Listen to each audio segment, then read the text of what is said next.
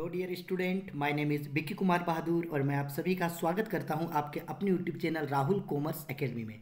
आज के इस वीडियो में मैं आपको बताने वाला हूँ Jharkhand academy council JAC board class eleventh का एंटरप्रेन्योरशिप ईटीपी का जो एग्ज़ाम हुआ था, उस एग्ज़ाम्स का मोड, जो क्वेश्चन था, उसका आंसर की के बारे में बताऊँगा। इससे पहले ही सारे सब्जेक्ट्स का आंसर की अपलोड किया जा चुका है। अगर आपने अभी तक उन आंसर्स की को नहीं देखा है तो वीडियो के कमेंट वीडियो के डिस्क्रिप्शन बॉक्स में जा करके आप वहाँ से लिंक पर क्लिक करके सारे सब्जेक्ट्स का आंसर की को देख सकते हैं, ठीक है? चलो, वीडियो में आगे बढ़ते हैं और हाँ अगर आपने अभी तक मुझे टेली अभी तक अगर आपने आपने मुझे इंस्टाग्राम पे फॉलो नहीं किया है तो जल्दी से फॉलो कर लीजिएगा, क्योंकि अगर आप मुझे इंस्टाग्राम पे फॉलो कीजिएगा तो इससे आपको बहुत बेनिफिट होगा कि आप जब चाहे तब मुझसे एजुकेशन से रिलेटेड अपने पढ़ाई से रिलेटेड कोई भी डाउट पूछ सकते हैं, कोई भी डाउट्स क्लियर कर सकते हैं, और मैं आप लोगों का एलेवेंथ और ट्वेल्थ आप लोगों का सभी तरीके का हेल्प आप लोगों को ज़रूर करूँगा। तो अगर आप चाहे तो मुझे इंस्टाग्राम पर फॉलो करके डायरेक्ट मैसेज कर सकते हैं। कुछ स्टूडेंट्स ने ऑलरेडी फॉलो किया है, और वो मुझसे कंटिन्यू कॉन्टैक्ट में रहते हैं, और मुझसे बातचीत उनकी होते रहती है। तो आप भी चाहें तो आप भी इंस्टाग्राम पे जा करके मुझे फॉलो कर सकते हैं। ठीक है? चलो, आगे बढ़ते हैं। आगे बढ़ने से पहले मैं आपको एक बात साफ़ साफ़ बता देता हूँ कि ये जो एग्ज़ाम जो ए का हुआ था, वो, ये एग्ज़ाम पूरा तरह से मॉडल पेपर पे बेस्ड था। यानी अगर मैं कहूँ कि 90 परसेंट जो क्वेश्चन था ना, वो पूरा का पूरा 90 परसेंट प्लस क्वेश्चन जो है, ये आपका पूरा मॉडल पेपर का सेट वन सेट टू और सेट थ्री के बेस पे था। अगर आपने उन सेट्स को अच्छा से कर रखा था तो आप लोगों का बहुत अच्छा नंबर आएगा। कुछ स्टूडेंट ये भी पूछते हैं कि पासिंग मार्क्स कितना होगा? तो देखो टर्म वन और टर्म टू को मिला करके ही ना भाई पासिंग मार्क्स डिक्लेयर होगा। लेकिन एटलीस्ट आप समझ के रखो ना कि बीस नंबर से ज़्यादा अगर आपका आता है तो आप पास हो जाओगे। ठीक है, चलो आओ, आगे बढ़ते हैं। देखो, पहला क्वेश्चन था ये। पहला क्वेश्चन पे बोला गया था, उद्यमिता नेतृत्व प्रदान नहीं करती। एंटरप्रेन्योरशिप फेल्स टू लीड ये भी मॉडल पेपर का क्वेश्चन है सेट वन का। तो उद्यमिता जो है, वो किस पे मदद नहीं करता है? तो उद्यमिता मदद नहीं करता है साझेदारी फार्म को। किसमें मदद नहीं करता है? पार्टनरशिप फार्म को। तो वन का आंसर होगा क्वेश्चन वन का आंसर होगा वन ठीक है, चलो। क्वेश्चन नंबर टू पे आते हैं। क्वेश्चन नंबर टू पे बोला गया है, उद्यमिता की विशेषता है characteristics of an enterprises तो एक उद्यमिता का इनमें से सभी सभी विशेषता होता है, यानी ऑल होता है। एक जो उद्यमिता होता है, एक जो ऑन्टरप्रेन्योरशिप होता है, वो आपका रिस्क बियरर भी होता है एस्टेब्लिशमेंट ऑफ़ न्यू अंडरटेकिंग्स भी होता है प्रोवाइड रिसोर्सेज जोखिम सहने वाला होता है, नवीन नवीन उपक्रम की स्थापना करने वाला और साधन प्रदान करने वाला भी होता है। तो टू का आंसर होगा आपका ऑप्शन फोर ठीक है? चलो आओ। आगे बढ़ते क्वेश्चन नंबर थ्री पे बोला गया है entrepreneurship is helpful in entrepreneurship जो है वो किसमें मदद करता है? ऑप्शन ए पोवर्टी एलिमिनेशन गरीबी उन्मूल्यन में, यानी गरीबी को कम करने में मदद करता है। बिल्कुल करता है। इकोनॉमिक डेवलपमेंट आर्थिक विकास में मदद करता है। बिल्कुल करता है। कैपिटल फॉर्मेशन पूंजी निर्माण में मदद करता है। बिल्कुल करता है। तो इसका राइट आंसर होगा ऑप्शन डी ये भी क्वेश्चन आप लोग का मॉडल पेपर वाला ही दिया हुआ है।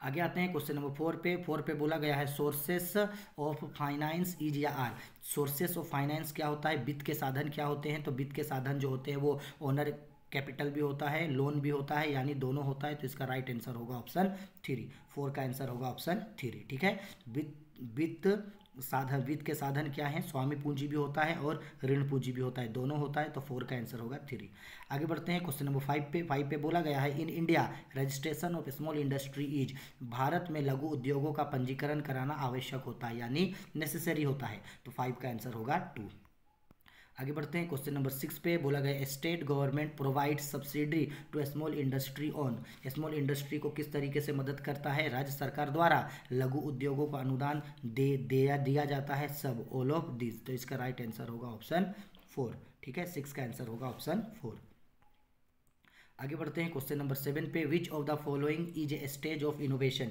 निम्नलिखित में से कौन नवाचार की अवस्था है? तो इसका आंसर होगा ऑप्शन फोर इसका आंसर होगा ऑप्शन डी ये सभी ये सभी इनोवेशन का जो है, एक स्तर होता है, ठीक है? यानी क्या क्या होता है जी? व्यवसायिक विचारों की पहचान करना, व्यवसाय का नियोजन करना, परियोजना प्रतिवेदन तैयार करना, सब होता है। Identification of business ideas business planning होता है फॉर्मेशन ऑफ़ प्रोजेक्ट रिपोर्ट होता है, सब होता है। तो इसका राइट आंसर होगा ऑप्शन डी यानी इसका राइट आंसर होगा ऑप्शन फोर ठीक है? आगे बढ़ते हैं क्वेश्चन नंबर एट पे।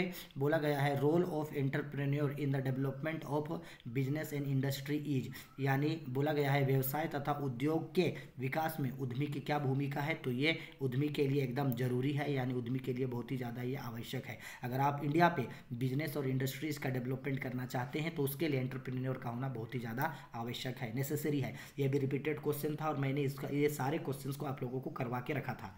ठीक है? आगे बढ़ते हैं।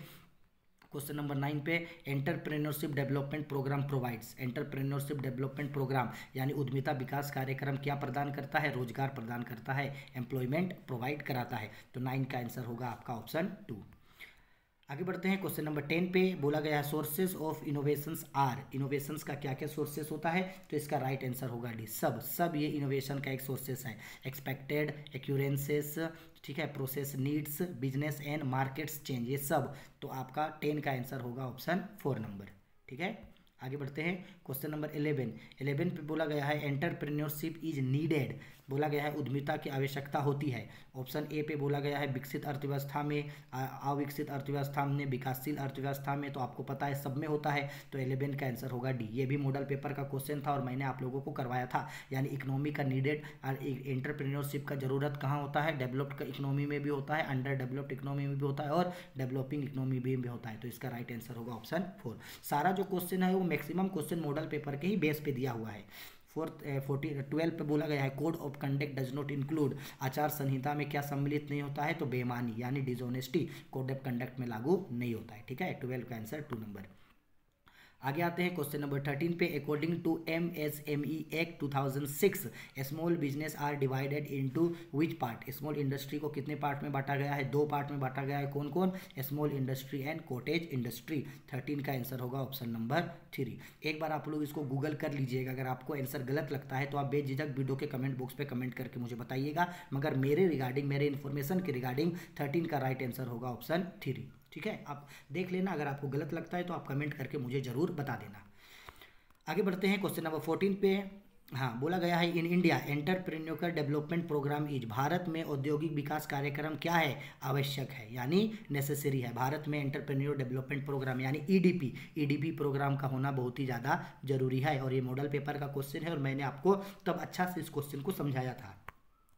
आगे बढ़ते हैं क्वेश्चन नंबर फिफ्टीन पे बोला गया है what is the various problem in the conduct of EDP यानी एंटरप्रेन्योरशिप डेवलपमेंट प्रोग्राम करते हैं तो क्या क्या प्रॉब्लम होता है? तो ये सब प्रॉब्लम होता है, ठीक है? सारा प्रॉब्लम जो है वो होता है। सबसे पहले non availability of instrumental facilities no policy at national level no estimation of trainings ये सारा ही है जो प्रॉब्लम होता है। तो मेरा फिफ्टीन का आंसर होगा ऑप्शन फोर ठीक है?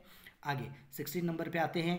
सिक्सटीन पे बोला गया small industry is the subject of small industry यानी लघु उद्योग किसका विषय है? ये भी रिपीटेड क्वेश्चन है। तो स्मॉल इंडस्ट्री होता है राज्य सरकार का, यानी किसका होता है? स्टेट गवर्नमेंट का होता है। स्टेट गवर्नमेंट ही है जो इसका देखभाल करता है सब्सिडरी देता है रूल एंड रेगुलेशन अप्लाई करता है और नया नया अप्रोच नया नया मार्केट उन लोगों को प्रोवाइड करता है। तो स्मॉल इंडस्ट्री किसके अंडर में आता है? तो स्टेट गवर्नमेंट राज्य सरकार के अंडर में आता है।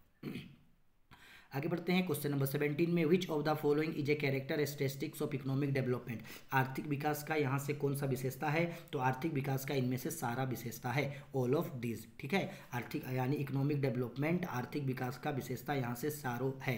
कंटिन्यूटी प्रोसेस होता है proper utilisation on factors of production होता है improvement in standards of living होता है, सब होता है। तो इसका राइट आंसर होगा ऑप्शन फोर ठीक है? वीडियो पसंद आ रही है तो वीडियो को लाइक ज़रूर करना और आपके जितने भी दोस्त हैं जिनका ई e है उन सभी के बीच इसको शेयर ज़रूर करना ताकि उन्हें भी पता चल सके कि उनका कितना क्वेश्चन सही बना है। और वीडियो के कमेंट बॉक्स पे जितने भी स्टूडेंट वीडियो को देख रहे हैं, सब स्टूडेंट वीडियो के कमेंट बॉक्स पे कमेंट करके ज़रूर बताना कि आपका कितना क्वेश्चन सही हुआ है।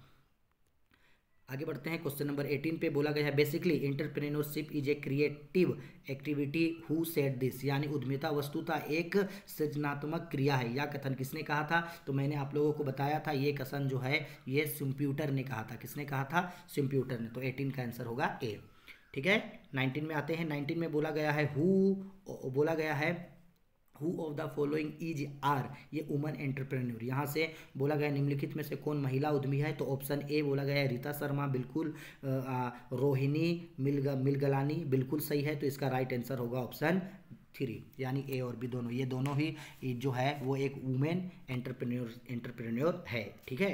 चलो, आओ, आगे बढ़ते हैं क्वेश्चन नंबर ट्वेंटी पे।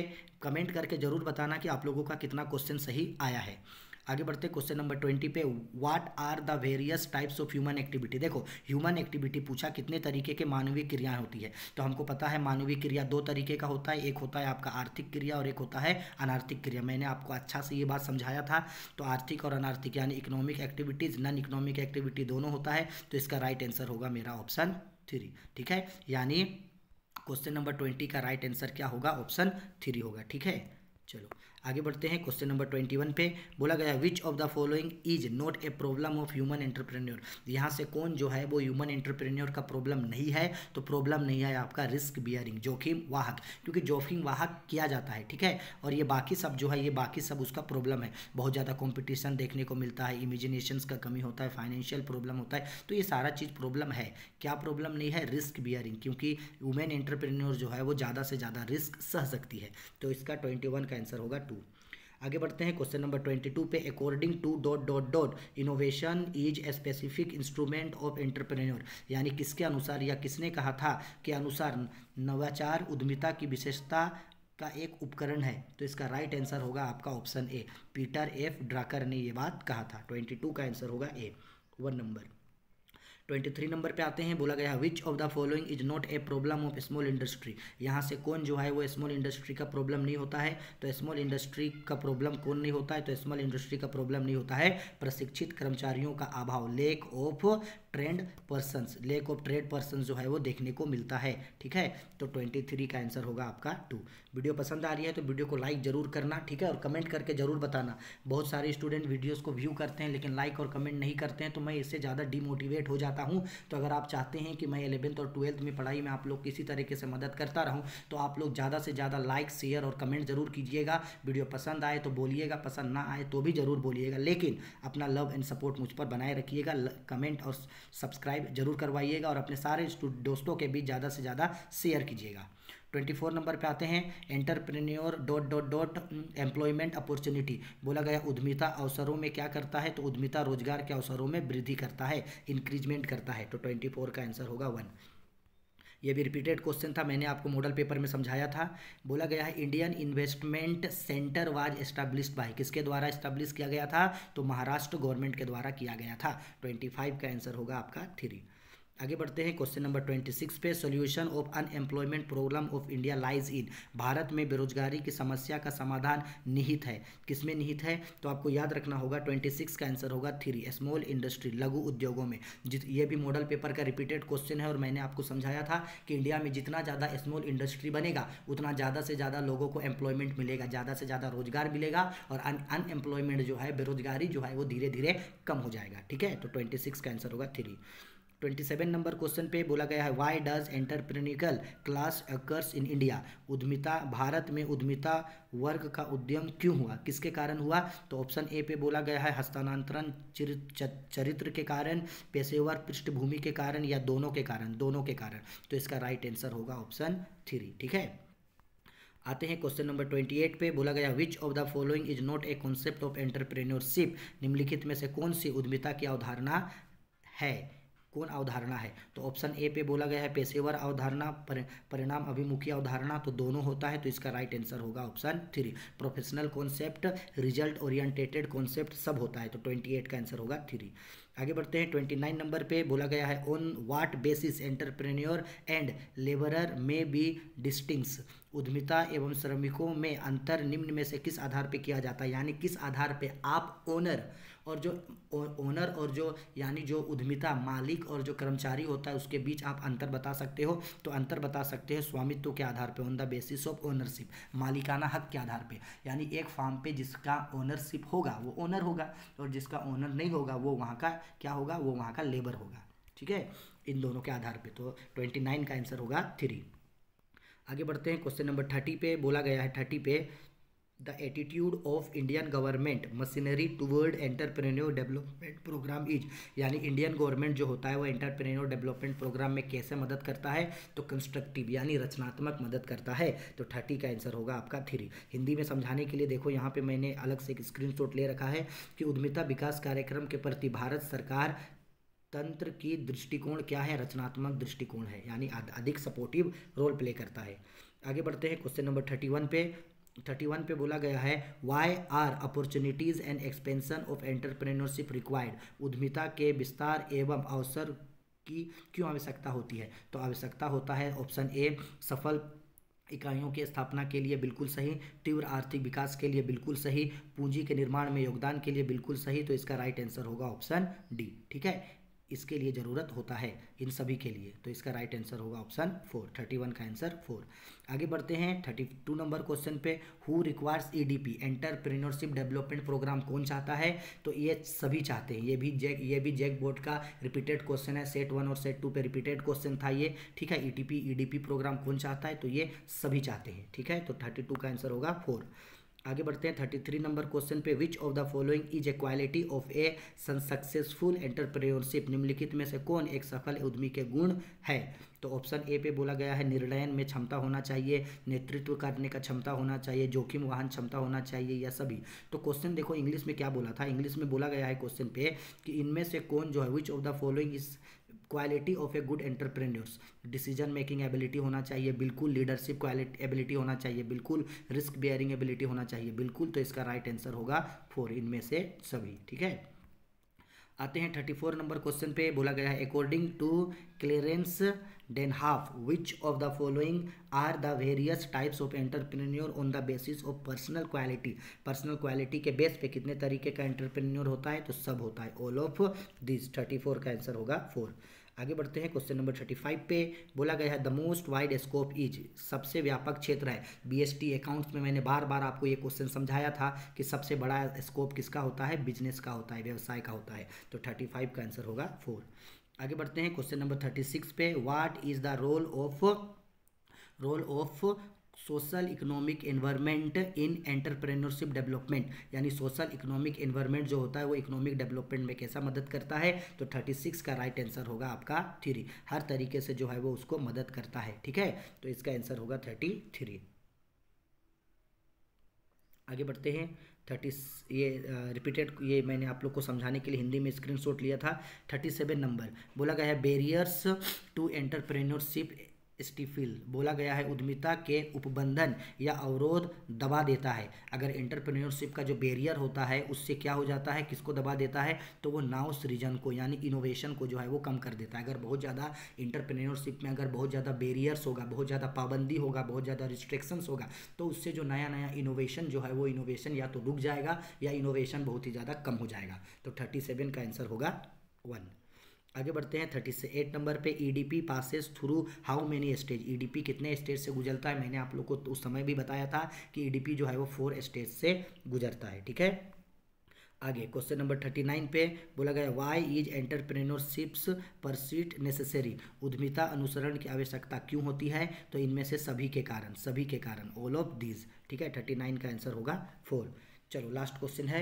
बोला गया है which which of the following is the characteristics of human human entrepreneurship निम्नलिखित में से कौन सी महिला उद्यमी की विशेषता है?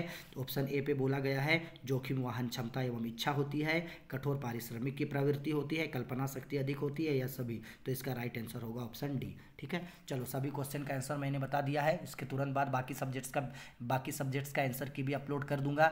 जो जितने आप लोग का नंबर आया है वीडियो के कमेंट बॉक्स पर कमेंट करके मुझे ज़रूर बताइएगा। ठीक है? चलो बाय टेक केयर